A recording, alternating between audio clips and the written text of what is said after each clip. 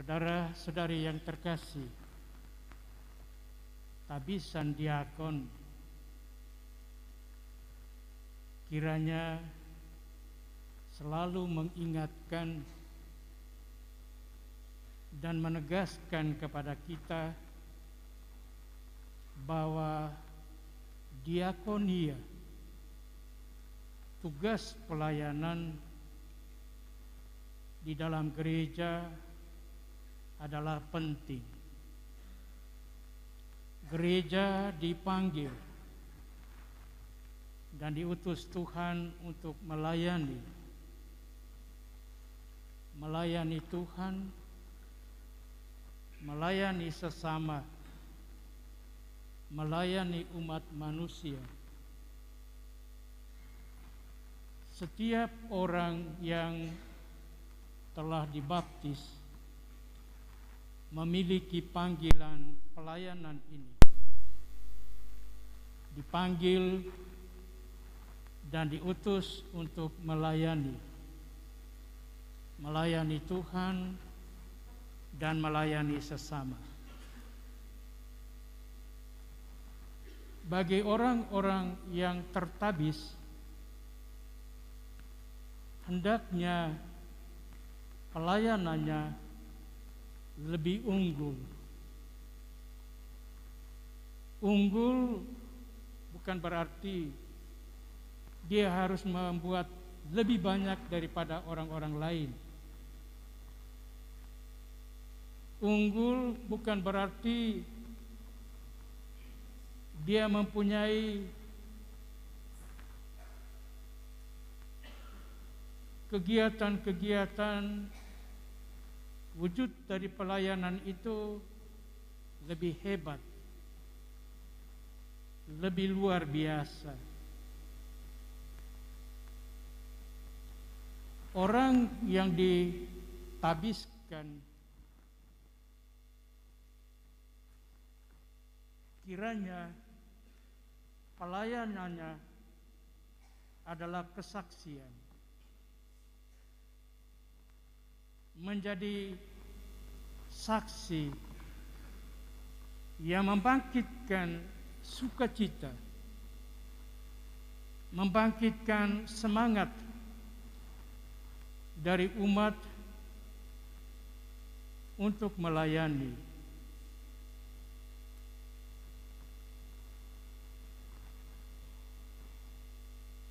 Hari ini kita merayakan hari raya Pentakosta. Murid-murid Yesus yang kita dengar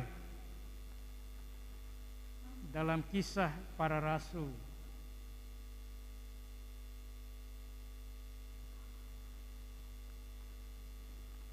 Berbicara dalam bahasa-bahasa lain dan bisa dimengerti oleh orang yang mendengar mereka yang berasal dari pelbagai suku bangsa, dari pelbagai wilayah, dari pelbagai daerah. Bukan karena kemampuan berbahasa dari para murid Tuhan itu, bahwa mereka bisa dimengerti oleh orang yang mendengar, bukan juga karena mereka mempunyai keterampilan khusus, bukan karena mereka tahu metode pewartaan yang baik yang bisa menyentuh orang yang mendengar. Kita semua tahu semua itu karena Roh Kudus.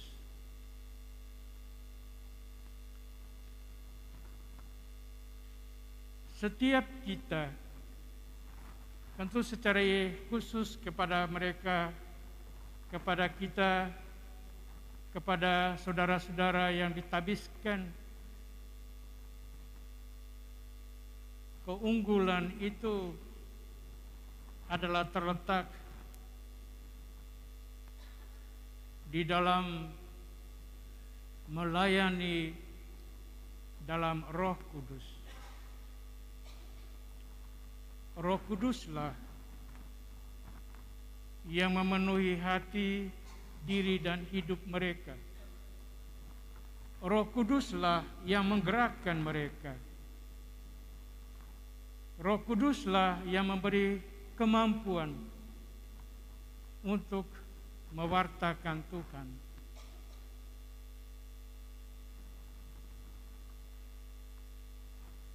Orang-orang yang ditabiskan tentu saja juga yang dibaptis kita diajak untuk terbuka kepada Roh Kudus dalam kehidupan kita. Membiarkan diri kita dipimpin, dibimbing, dan dikuasai oleh Roh Kudus.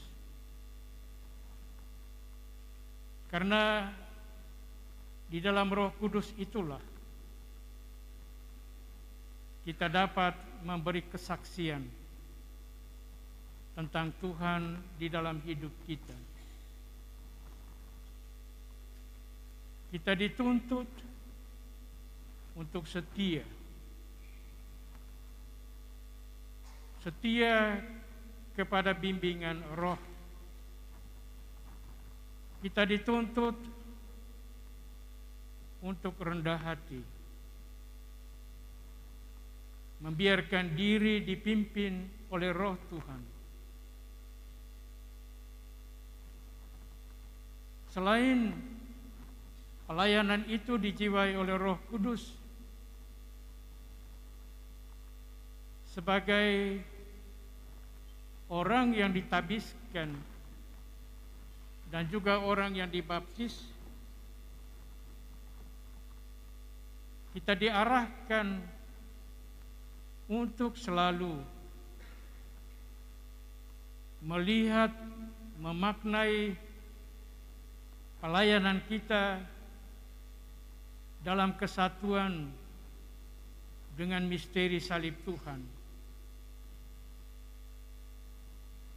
Ada banyak pelayanan yang bisa kita buat. Ada banyak pelayanan yang bisa kita saksikan. Tetapi pelayanan Kristiani, pelayanan murid-murid Tuhan, pengikut-pengikut Yesus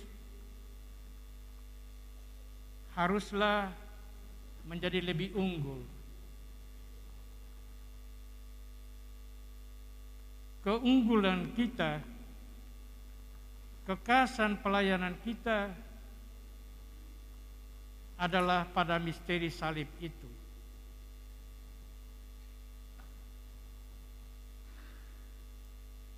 Kita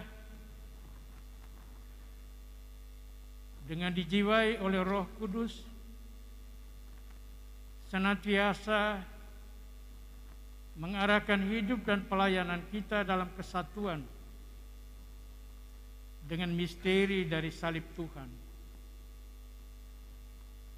Dialah menjadi model, contoh, teladan semua pelayanan kita.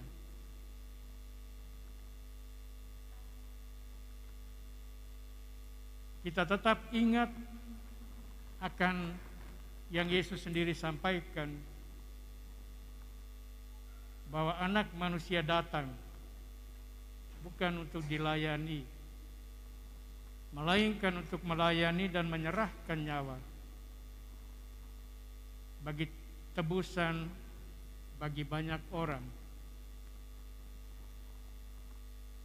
kita memaknainya ini dalam seluruh kehidupan kita tugas-tugas pelayanan kita. Dan hari ini secara istimewa melalui para diakon yang akan ditabiskan sebentar. Dibutuhkan satu sikap pelayanan dengan penuh pengorbanan, dengan penuh gembira, dalam kesetiaan pada panggilan, panggilan pelayanan itu.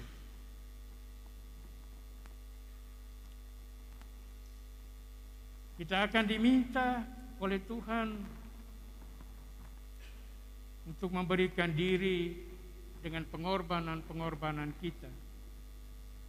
Baik itu korban waktu, tenaga, bahkan mungkin juga penderitaan-penderitaan yang kita tanggung sebagai bagian dari tugas pelayanan itu.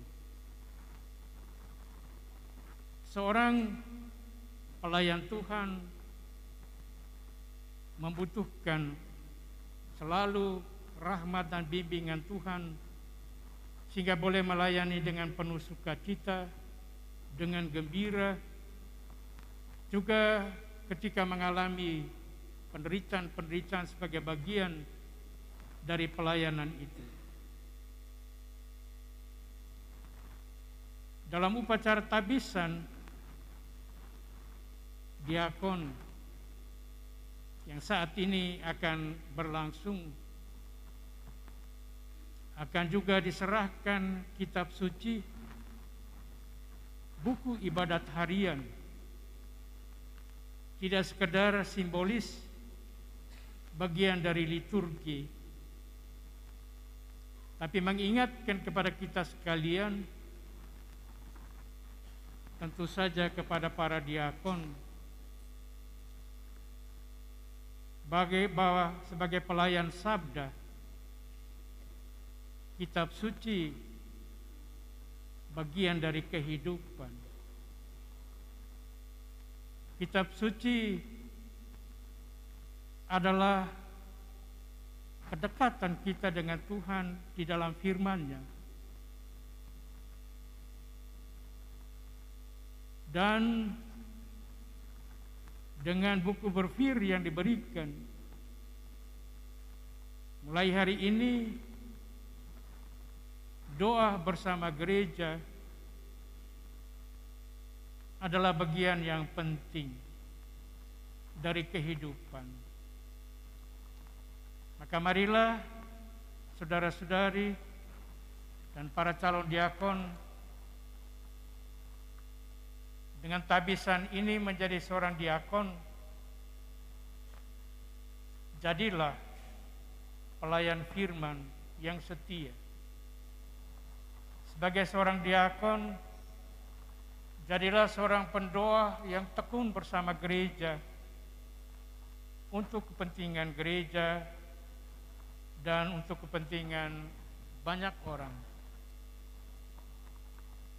Maka mari saudara-saudari kita bersatu hati mendoakan para diakon kita yang sebentar lagi akan ditabiskan diurapi oleh Roh Kudus melalui penumpangan tangan uskup dan dengan doa kita semua mendukung mereka. Amin.